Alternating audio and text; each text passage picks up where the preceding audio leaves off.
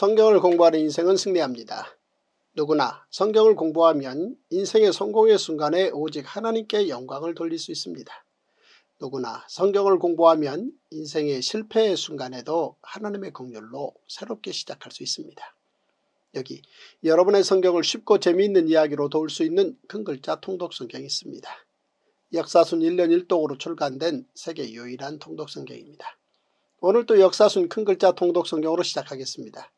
오늘의 굿뉴스 예레미야 4장에서 6장의 통습 다섯 가지 포인트를 먼저 읽어드리겠습니다.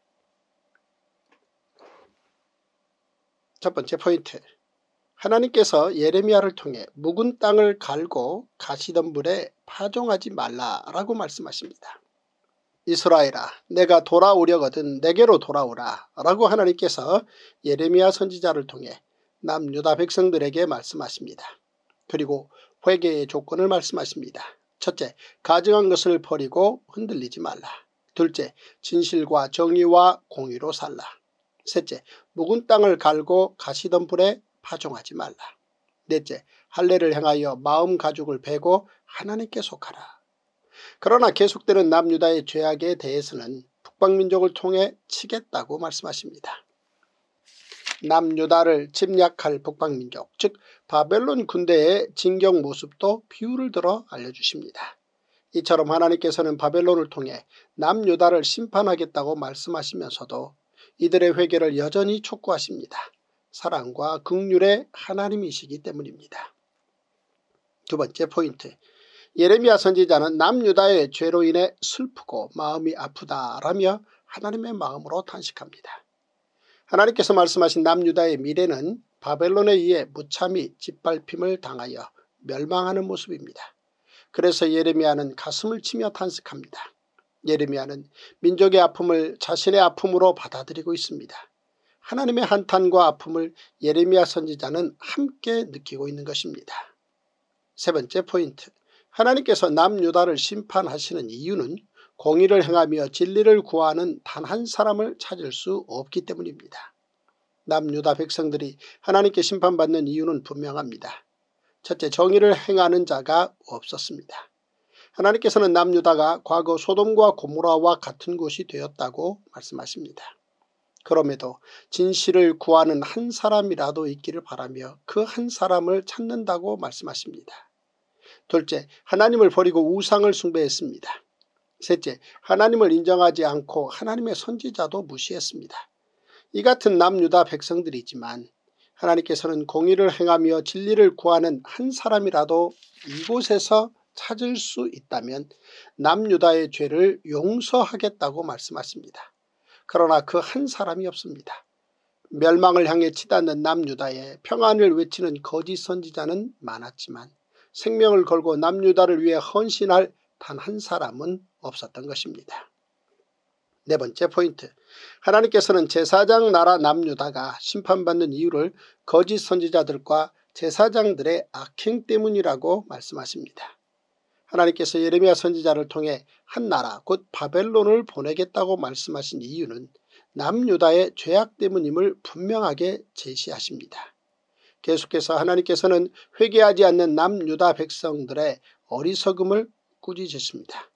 남유다 백성들이 하나님과 맺은 제사장 나라 언약을 지키지 않으므로 하나님과의 관계, 이웃과의 관계가 모두 무너지고 말았습니다. 악한 사회가 된 남유다를 두고 하나님께서 통탄하시는 것입니다. 다섯 번째 포인트 하나님께서는 선지자들로부터 제사장들까지 모두 거짓으로 평강을 외치며 부끄러워하지 않는다고 한탄하십니다. 하나님께서는 예레미야 선지자를 통해 바벨론 군대의 예루살렘 입성을 말씀하시며 남유다의 심판이 임박했음을 다시 한번 일깨워 주십니다. 남유다의 죄악이 얼마나 극심한지 계속해서 멸망의 이유를 말씀하십니다. 첫째, 예루살렘에는 폭력과 탈취가 가득했습니다. 둘째, 그들은 하나님의 말씀을 듣지 않는 완악한 백성들이었습니다. 셋째, 그들 가운데 탐욕이 가득했습니다. 넷째 종교 지도자들이 거짓과 가증한 일을 일삼았습니다. 이렇게 남유다는 끝내 하나님의 말씀에 불순종하고 거짓 예배만을 드렸습니다. 이제 하나님께서는 예레미야 선지자를 통해 바벨론 제국이 하나님의 심판의 도구가 될 것이라고 말씀하십니다. 예견된 남유다의 심판 앞에 예레미야 선지자의 고통은 이루 말할 수가 없었습니다. 예레미야는 자신이 겪는 극심한 고통을 회산하는 여인의 고통과 독자를 잃은 부모의 통곡에 비유했습니다. 결국 하나님을 멀리하고 돌아서지 않는 남유다는 혹독한 심판을 받게 될 것입니다. 모든 성경은 유익합니다. 세상 예화나 성경 요절주의, 권별주의는 끝내 성경을 어렵게 합니다. 모든 성경을 모든 가정에서 다섯 살부터 통성경 스토리로 듣게 되면 성경은 곧 쉽고 재미있는 책이 될 것입니다. 모든 성경 이야기에는 첫째 하나님의 법, 둘째 하나님의 극률, 셋째 하나님의 기적이 들어있습니다. 그러므로 성경 한 권이면 충분합니다. Wow!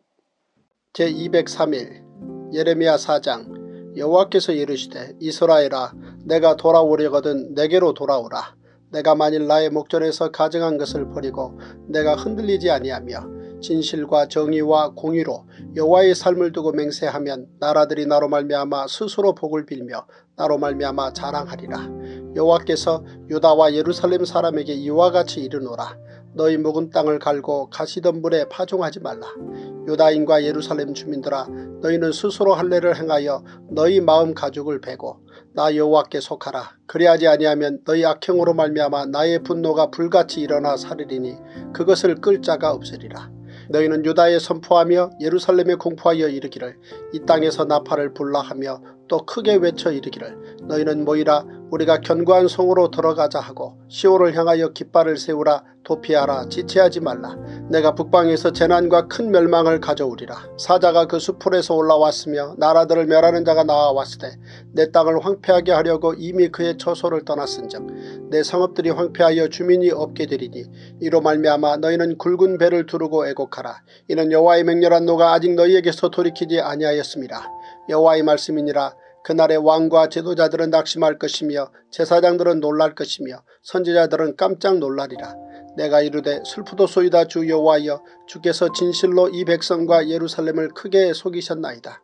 이르시기를 너희에게 평강이 있으리라 하시더니 칼이 생명에 이르렀나이다. 그때 이 백성과 예루살렘에 전할 자가 있어서 뜨거운 바람이 광야에 있는 헐벗은 산에서 내 딸 백성에게 불어온다 하리라.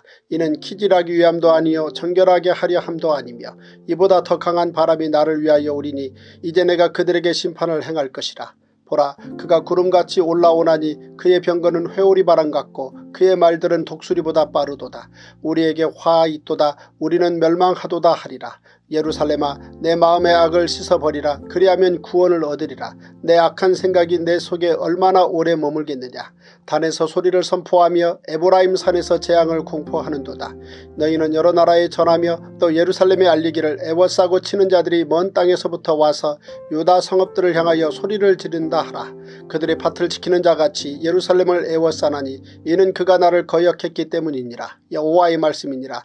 내 길과 행위가 이 일들을 부르게 하였나 만나니 이는 내가 악함이라. 그 고통이 내 마음에까지 미치느니라 슬프고 아프다. 내 마음속이 아프고 내 마음이 답답하여 잠잠할 수 없으니 이는 나의 심령이 나팔 소리와 전쟁의 경보를 들음이로다. 패망의 패망이 연속하여 온 땅이 탈취를 당하니 나의 장막과 휘장은 갑자기 파멸되도다. 내가 저 깃발을 보며 나팔 소리 듣기를 어느 때까지 할꼬? 내 백성은 나를 알지 못하는 어리석은 자여 지각이 없는 미련한 자식이라.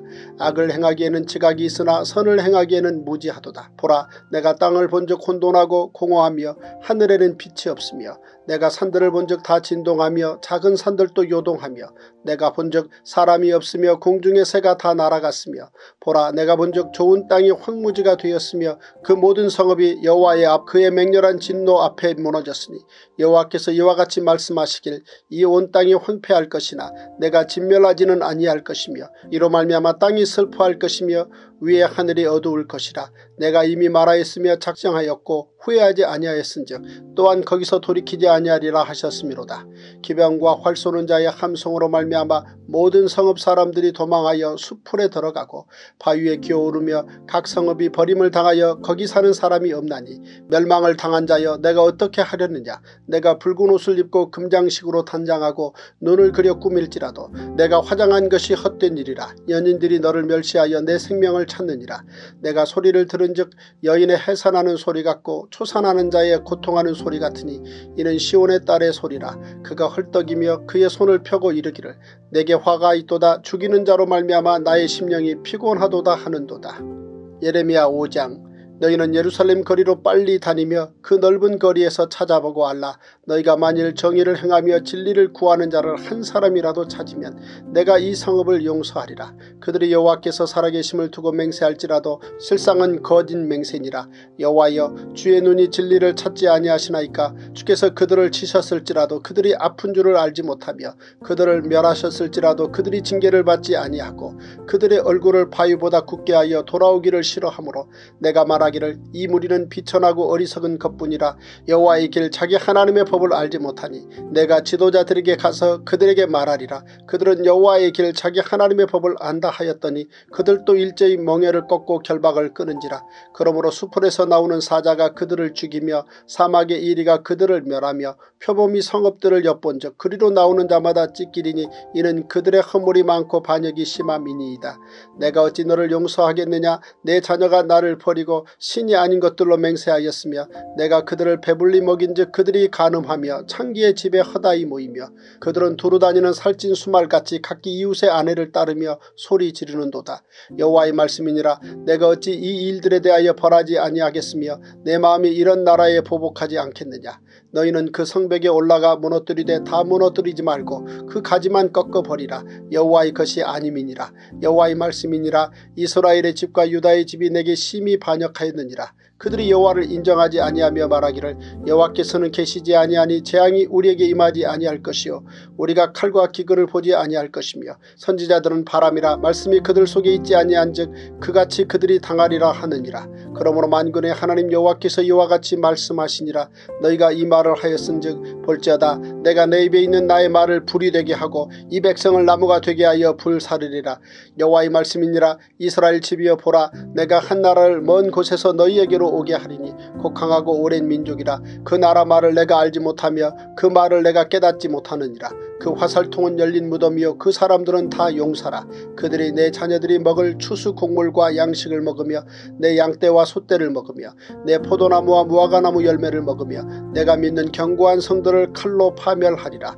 여호와의 말씀이니라. 그때에도 내가 너희를 진멸하지는 아니하리라. 그들이 만일 이르기를 우리 하나님 여호와께서 어찌하여 이 모든 일을 우리에게 행하셨느냐 하거든 너는 그들에게 이르기를 너희가 여호와를 버리고 너희 땅에서 이방신들을 섬겼은즉 이와 같이 너희 것이 아닌 땅에서 이방인들을 섬기리라 하라. 너는 이를 야곱 집에 선포하며 유다에 공포하여 이르기를 어리석고 지각이 없으며 눈이 있어도 보지 못하며 귀가 있어도 듣지 못하는 백성이여 이를 들을지어다.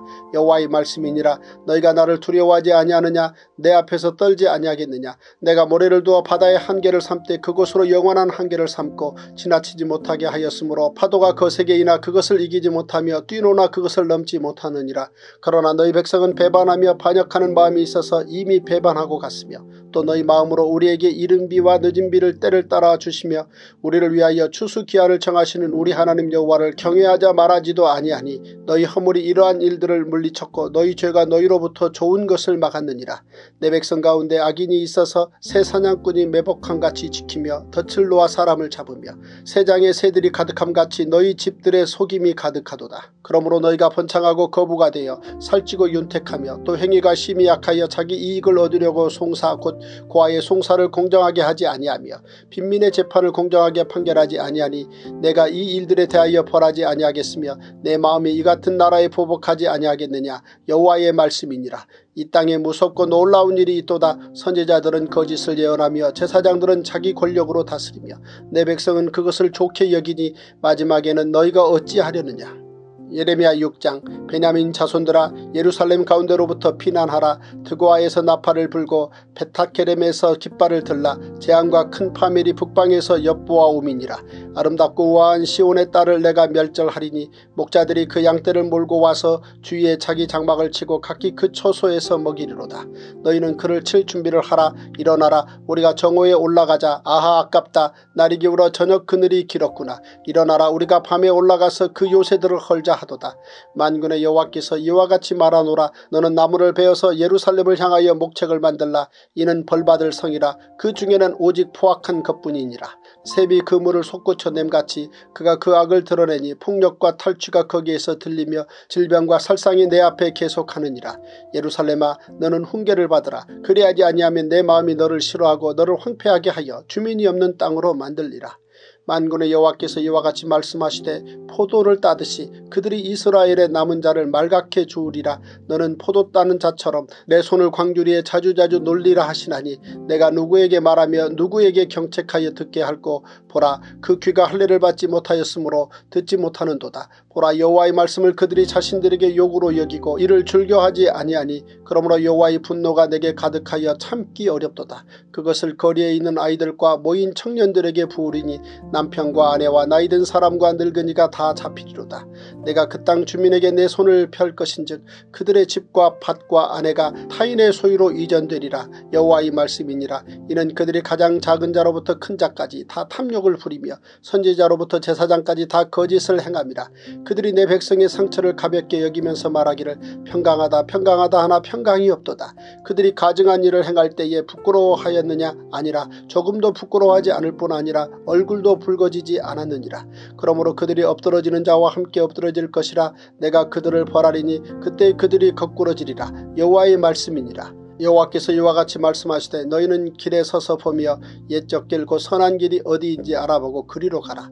너희 심령이 평강을 얻으리라 하나 그들의 대답이 우리는 그리로 가지 않겠노라 하였으며 내가 또 너희 위에 파수꾼을 세웠으니 나팔 소리를 들으라 하나 그들의 대답이 우리는 듣지 않겠노라 하였도다. 그러므로 너희 나라들아 들으라 무리들아 그들이 당할 일을 알라. 땅이여 들으라 내가 이 백성에게 재앙을 내리리니 이것이 그들의 생각의 결과라. 그들이 내 말을 듣지 아니하며 내 율법을 거 절하였음이니라. 시바에서 유향과 먼 곳에서 향품을 내게로 가져오면 어찌함이냐. 나는 그들의 번제를 받지 아니하며 그들의 희생제물을 달게 여기지 않노라. 그러므로 여호와께서 이와 같이 말씀하시니라. 보라 내가 이 백성 앞에 장애물을 두리니 아버지와 아들들이 함께 거기에 걸려 넘어지며 이웃과 그의 친구가 함께 멸망하리라. 여호와께서 이와 같이 말씀하시되 보라 한 민족이 북방에서 오며 큰 나라가 땅끝에서부터 떨쳐 일어나나니 그들은 활과 창을 잡았고 잔인하여 사랑이 없으 며 그 목소리는 바다처럼 포효하는 소리라 그들이 말을 타고 전사같이 다 대열을 벌리고 시온의 딸이 너를 치려 하느니라 하시도다. 우리가 그 소문을 들었으므로 손이 약하여졌고 고통이 우리를 잡았으므로 그 아픔이 해산하는 여인 같도다. 너희는 밭에도 나가지 말라 길로도 다니지 말라 원수의 칼이 있고 사방에 두려움이 있습니다. 딸내 백성이 굵은 배를 두르고 재에서 구르며 독자를 이름같이 슬퍼하며 통곡할지어다. 멸망시킬 자가 갑자기 우리에게 올 것입니다. 내가 이미 너를 내 백성 중에 망대와 요새로 삼아 그들의 길을 알고 살피게 하였노라. 그들은 다 심히 반역한 자며 비방하며 돌아다니는 자며 그들은 녹과철이며 다 사악한 자라. 풀무불을 맹렬히 불면 그 불에 납이 살라져서 단련하는 자의 일이 헛되게 되느니라. 이와 같이 악한 자가 제거되지 아니하나니 사람들이 그들을 내버린 은이라 부르게 될 것은 여호와께서 그들을 버렸습니다.